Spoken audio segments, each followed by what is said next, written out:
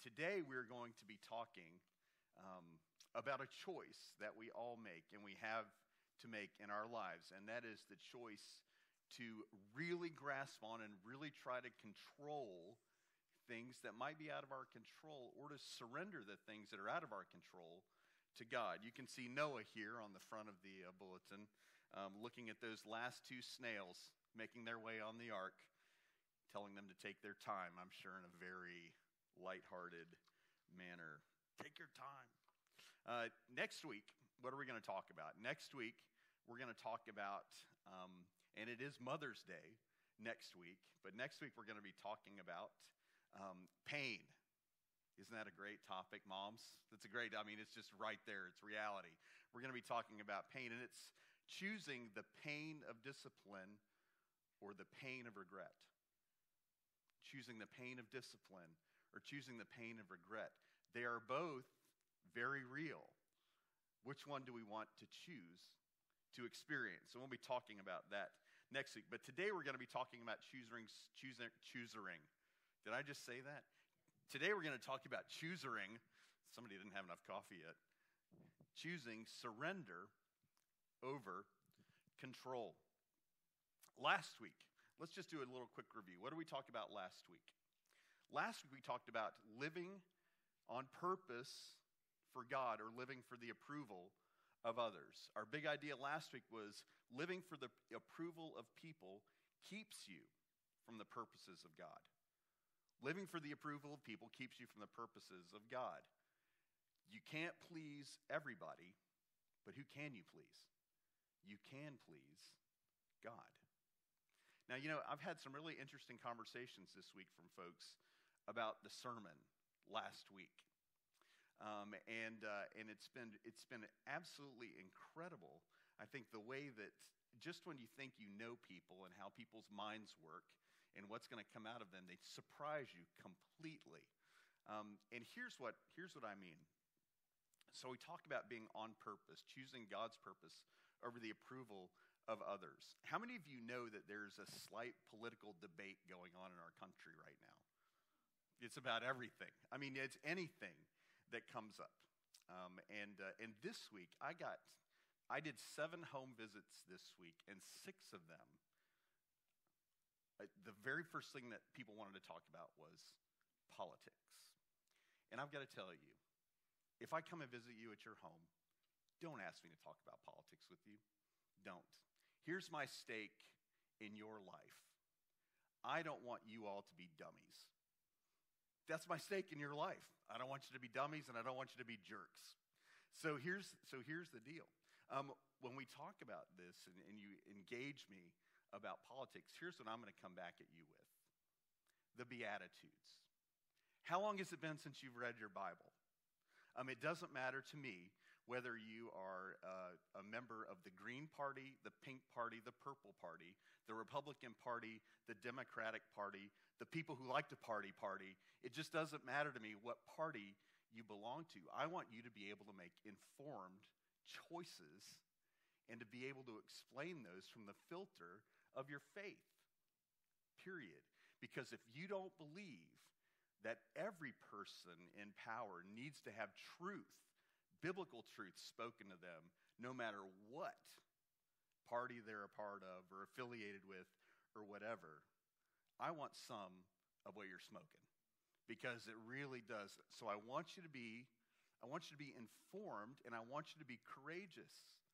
That's what I want you to do. I want you to be able to speak the truth in love to whoever you're around and to be known for that. Does that make sense? Does that make sense? And by the way, if I come visit you at your house and you choose to leave the TV on while we're sitting there talking and you look past me at the TV while we're talking, expect me to freak out. Just expect me to freak out. I just might do it. Anyway, okay. So enough of that, right? Let's go ahead and pray again. No, I'm just kidding. Okay, so today, surrender, talk about the things that you can control. Surrender over control. Let's surrender it, Lord. So anyway, okay, so let's let's get going on this here. How many of you would say that there's an area in your life that you'd like to control? I mean, honestly, I mean, if you've got your hand down, you're lying or you haven't thought about it. I mean, honestly, ra- uh, if you find yourself wanting to raise the person's hand next to you and say that they have lots of places in their life that they want to control, um, that, that the person next to you needs to be taking really good notes about all of this. Um, you know, just, just, here's the fact um, that if you live with or you're around or you know total control freaks, um, that Jesus can set them free. Not you, but other people. Other people, right? Um, all of us battle in some ways that we want to control our lives, that we want to control our workplace, right? Or our homes, right? Have you ever heard this? You need to do it my way. You need to do it in my time. And by the way, how many of you have ever said this? If you can't do it right, I'll just do it myself. That's right. If you can't do it right, I'll just do it myself. There are people and we could be some of them that people would call control freaks. Everything has a place, it has to be done my way. Leave that there, put that here. You know, when I married Melanie, um, the love of my life, unbelievable, it became very clear to me as a Marine that we did not clean the house the same. You know, it's a week later. I didn't do a good enough job. I mean, it was so funny. It was, so, so I got home, and Melanie has this vac had this vacuuming thing. So I've got hardwood floors now. It's it's this vacuum thing. All the lines had to be like going straight on the carpet. I mean, it was very. It's and I was just I was just like I didn't know you vacuumed this this way. But you know what? I'm the same way with the yard. Um, I was laid up a few years ago, and somebody came over and mowed my yard. And you know what? I was looking. I was watching them out the window, and you know what? They weren't doing it right. They were not doing it the, way that I do it the circles and the squares and the triangles and the. Anyway, so, but we all have these things that we really like to control. We've all got our areas. It could be people, right? Um, you want your kids or your grandkids um, to just do what you want them to do, right? If you don't do that, I'm going to ground you till you're 30, right? It doesn't work. I'm just going to, it just doesn't work. Um, it could be your spouse, you know?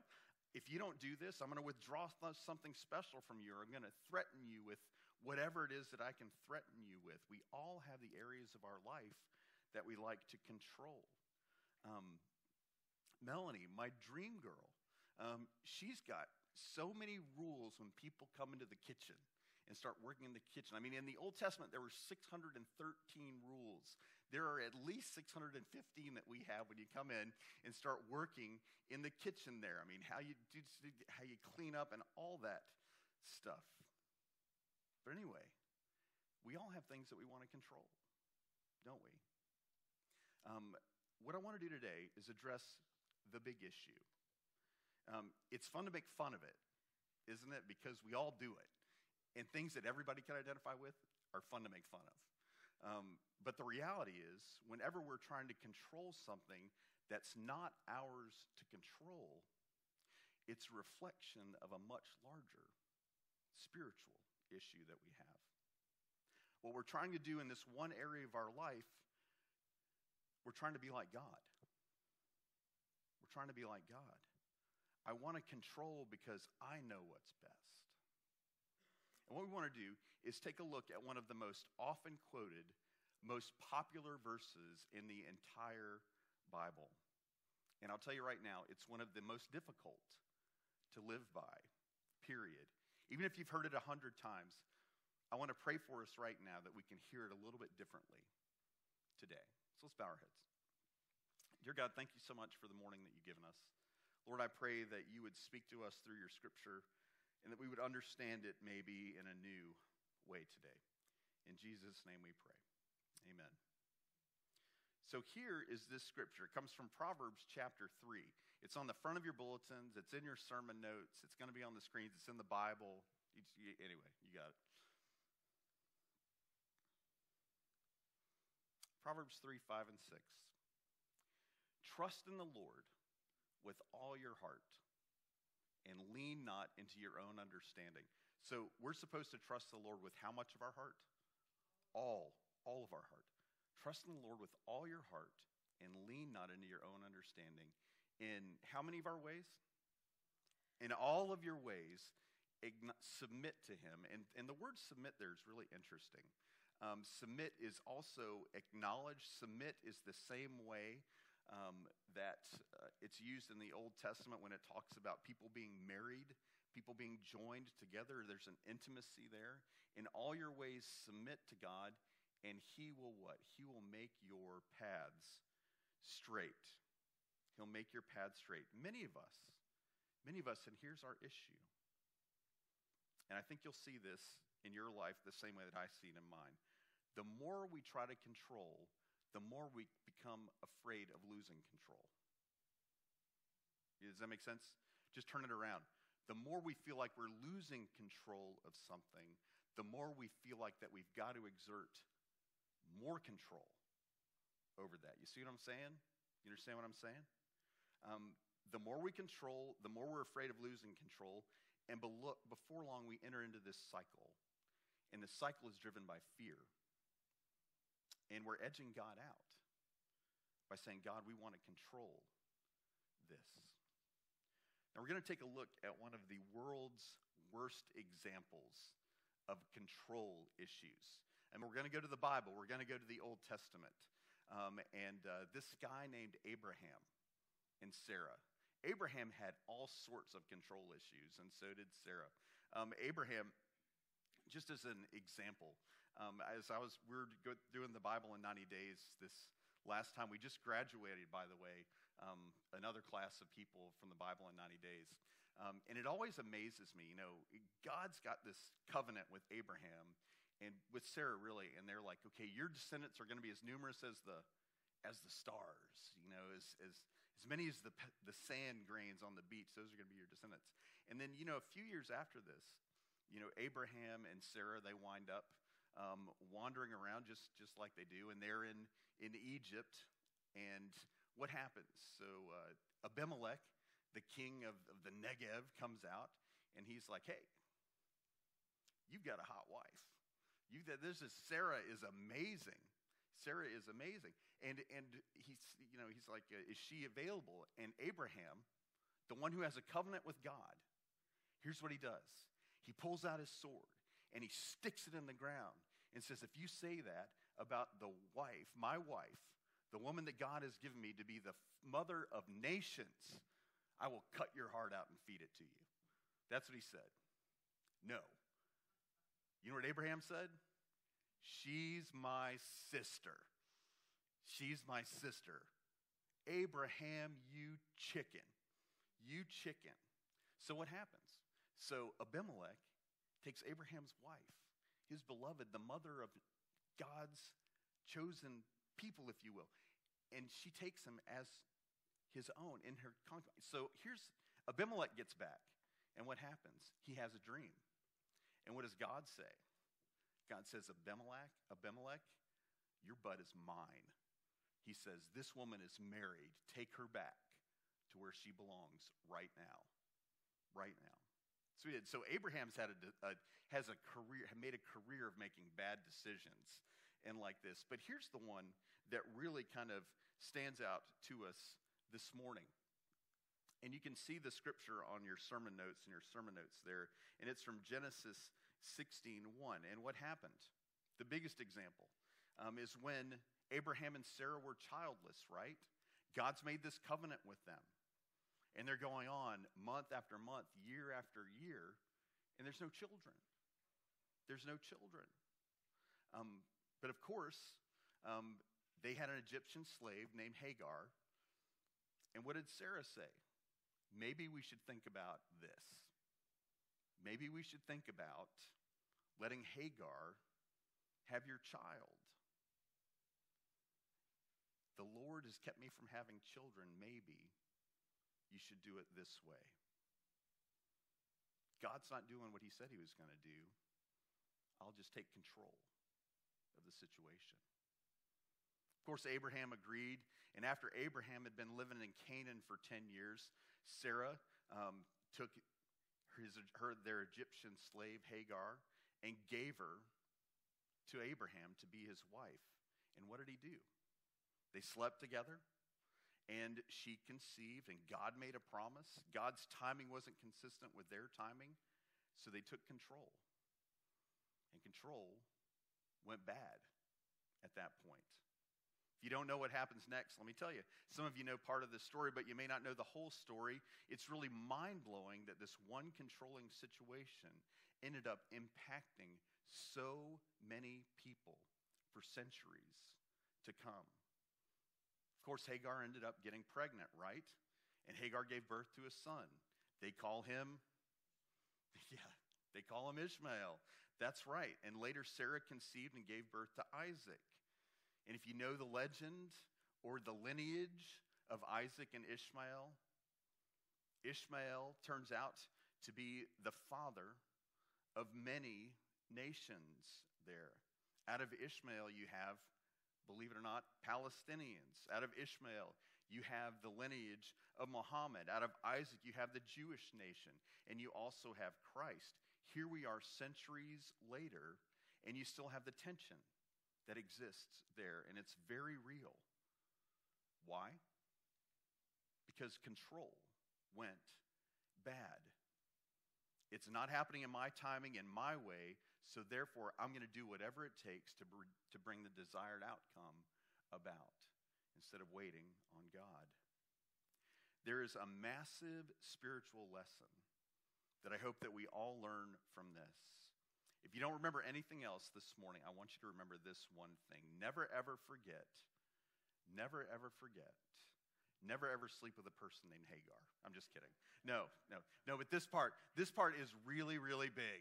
This part is really big. Um, chances are you'll never be tempted with that, but you'll be tempted with something else. And I don't know who or what you're going to be tempted with, but there's someone here who's going to be tempted, tempted to take control when they need to give control over to God when things aren't going your way. Maybe it's a financial issue. Maybe you're struggling financially. Maybe it's people at work. Hey, I'm trying to delegate this to you, but you're not doing it right, so just move out of the way. Some of you, maybe not, okay, nobody here. Helicopter parents and grandparents they're hovering, hovering, hovering over the people that they love, directing every step and every move that they make, or trying to do it, or attempting to do it for the best possible motives and reasons, but it very seldom works out the way that you want it to. You know, I read a Huffington Post article this last week, um, and it's it's fascinating. I mean, one of the the um, the incredible conversations that's going on is something that's occurred through the ages, but it's generationally how we deal with issues and problems. And now we've clearly defined generations, right? Uh, boomers, busters, Xers, Yers, millennials, and whatever else there is.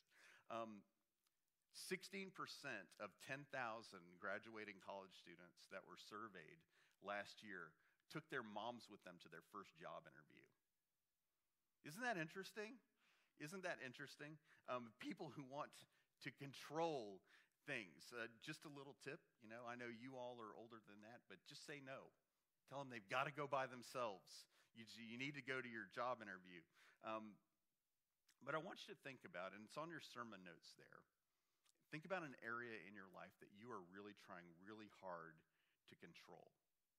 Whether it's a person, whether it's a thing or a circumstance, and I just want you to think about it for a minute. Give it a name and write it down. Let me give you some ideas. Are you trying to control your kids? Are you trying to control your grown children? Are you trying to control your grown kids because they aren't raising your grandkids correctly? Are you trying to control your finances, your job future? your spouse, your mom, your dad. I told you not to chew your gum like that. Why are you doing it like that? You're trying to control your image. What is it that you're really trying to control the hardest?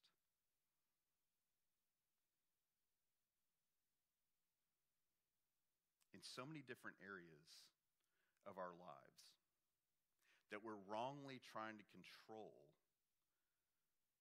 we're going to try to choose surrender over control this morning. And we're going to ask three big questions really fast to help us get into the attitude of surrendering to God over trying, trying to control it ourselves. The first question is this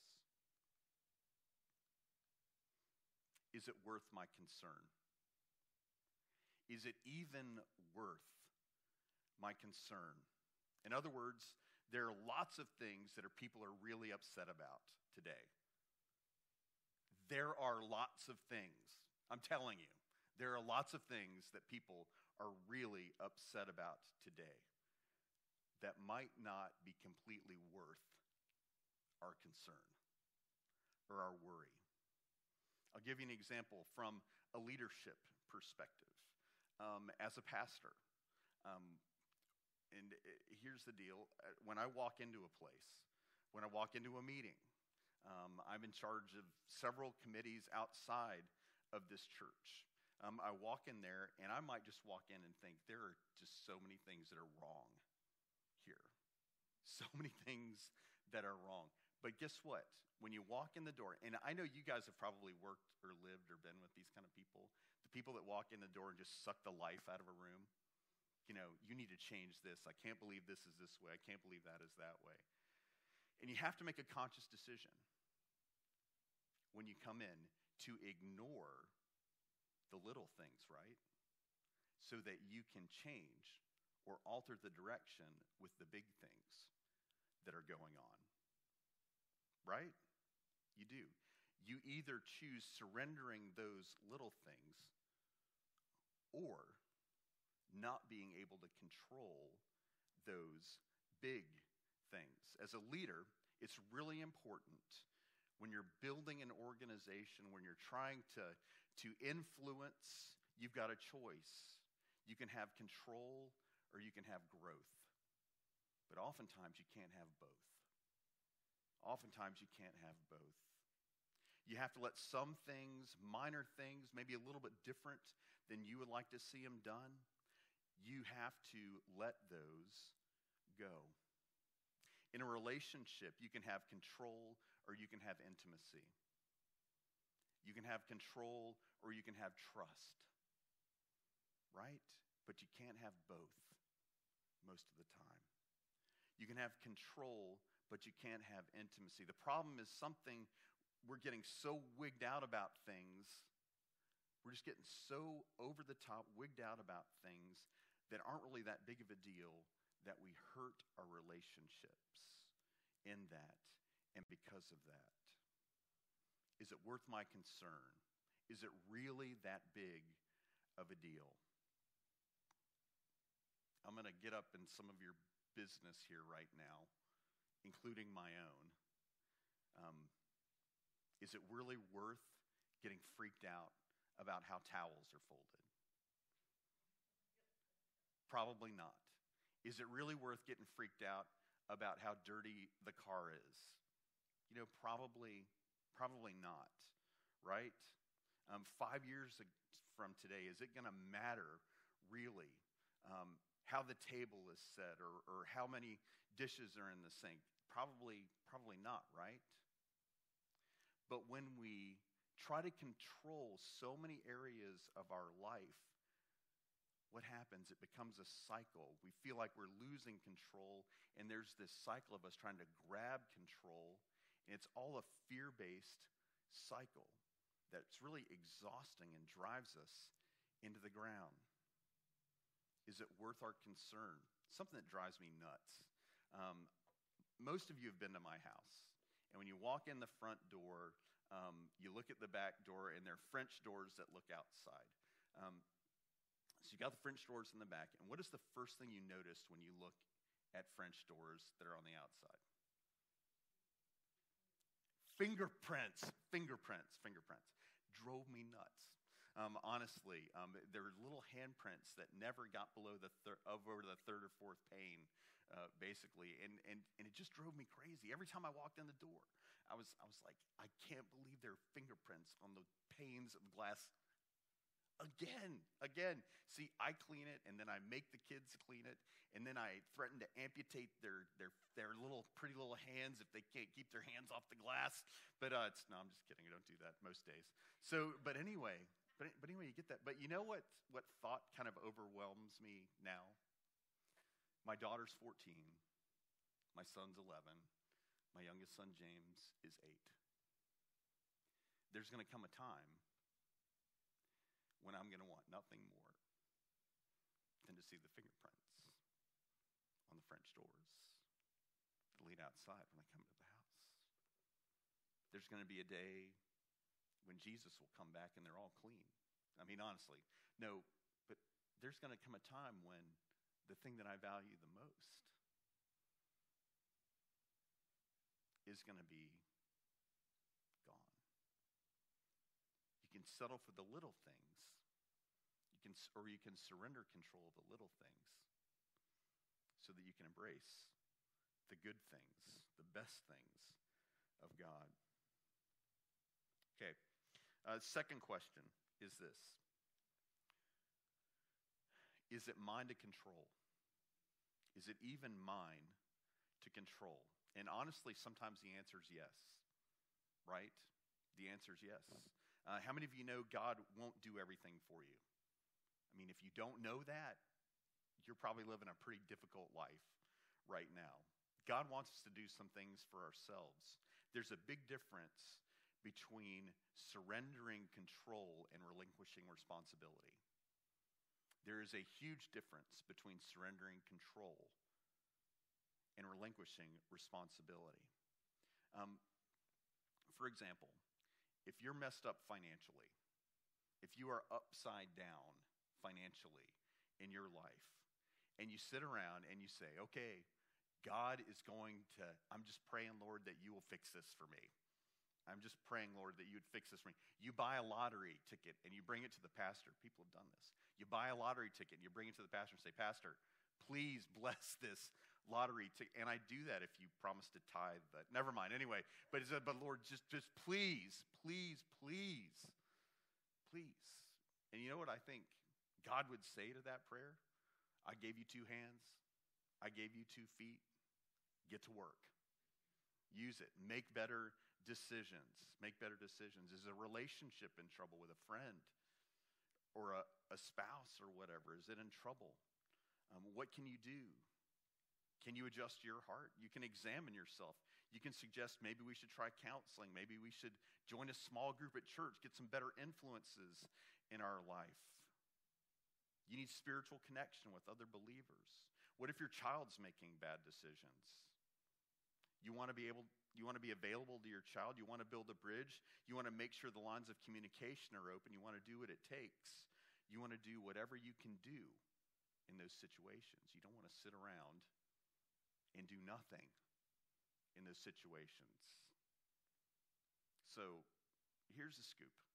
Um, first is this Is it worth my concern? Second, is it mine to control?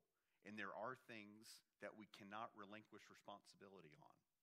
You can surrender control, but never responsibility, right?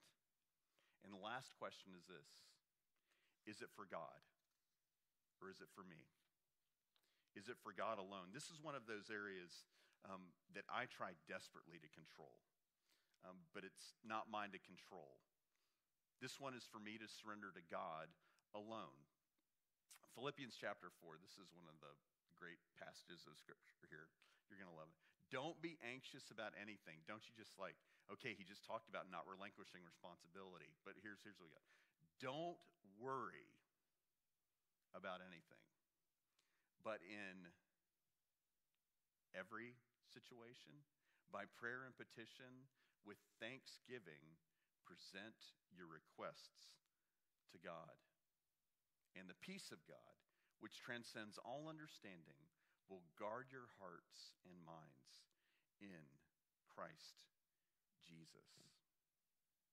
In every situation, what are we supposed to do?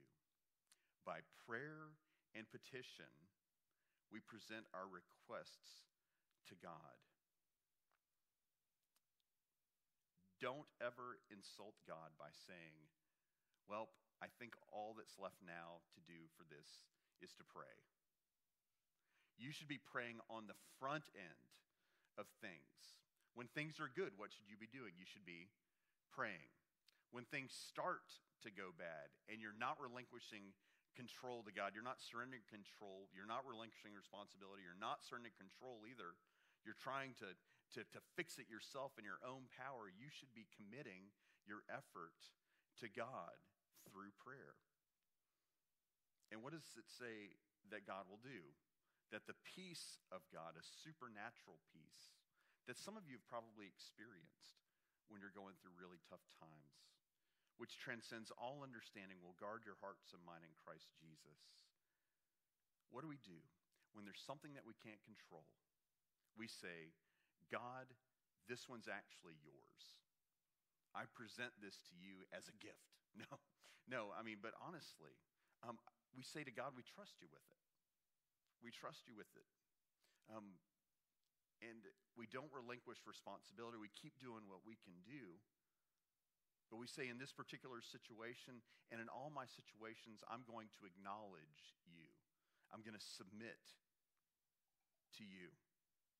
And you look at what you're dealing with and you ask yourself, is this one for God alone? Or is this one for me? You're married and your spouse continues to make bad decisions. You ask yourself, can I change them? And the answer is, yeah, how many of you have taken that project on? Does it, the answer is no. But some of us think we can, and let me help you out. You can't because you'll make each other miserable. You'll absolutely make each other miserable. You can make your, your, your spouse crazy. You can drive them away. You can conform their behavior for a little while until they resent you and start kicking back. That's just the way that it works. You can't change your spouse. Can God change your spouse? Can God? Yes. Yes. And what is this? My spouse is for God alone. I trust you God. I'll tell you what changed the way that, I mean, it radically changed the way Melanie and I interacted with each other around year eight of our marriage. I started picturing her as God's daughter and treating her as God's daughter, and then my spouse. Um, she still hasn't gotten to the point where she sees me as God's son now, but no, I know that's Jesus. So sorry, Lord. Yeah, no, it's no, but I'm but I'm serious. It changes your entire perspective. Changes your entire. Can you physically heal your body or the body of somebody that you love? Can you? Friends, I've been to people's houses in this church, people that we all know and people that we all love, with the elders in this church, and we have laid hands on them and anointed them with holy oil, and they got sick and they died. There is very little control that we have. There are things that we have to commit to God that are for God alone. Can you control your kids' future? No, you can't. You can threaten them, you can drive them away from you. You can create a wall where there's no trust. Um, you, can you control their future, though? And the answer is no, you can't. That one is for, for God, for God alone. And ultimately, you're going to have to say, God, I trust you with all my heart, and I don't want to lean in my own understanding. Whenever you're doing what we all do, say, hey, is it worth my concern? A lot of times it's not. Is it mind control? To control, if it is, then you need to do something about it, right? And if not, you ask, is this for God alone? And you give it over to Him. So, one quick last um, illustration as we go into communion. most of us have people in our lives, most of us have at least one family member that is completely hostile to the gospel or to Jesus or religion? And when it comes up, how does it work out? Oh, it's great. Um, so, um, one of my relatives, um, who we spent a lot of time together over the years, I love him. I've always loved him. He's an astrophysicist. Um, and and this, one of the smartest dudes I've ever met. And he would actually pursue you, follow you around if he found out that you were a Christian. Um, and, and he would just like like just follow you around, just ask you questions and and whatever. I remember as a as a seminary student being at his house in Venice, California, and and kind of hiding beside the refrigerator in the garage. I'm not going to tell you what was in the refrigerator. It was a good place to hide. So anyway, but but being out there, but he was down not too long ago. Here in his upper 80s we're sitting at the house, and he says, Shouldn't we pray before dinner? I was like, Really? Shouldn't we pray before dinner? And he's like, Yeah. He's like, You know, I've been thinking about this stuff for so long. He said, You know what I decided? I decided maybe I'm going to give this God thing a try. He said, and I haven't regretted it for a moment since. There are some things that are out of our control that only God can control. Period.